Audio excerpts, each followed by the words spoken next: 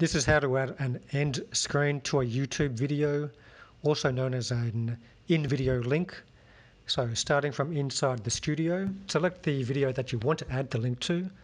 You hover over it, then you select the pen icon.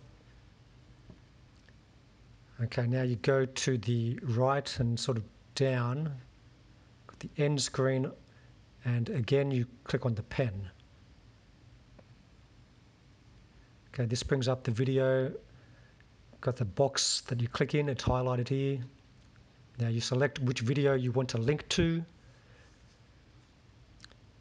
And the final step, you put in the time code for when you want it to appear in the video and end. It's got to be at least five seconds long.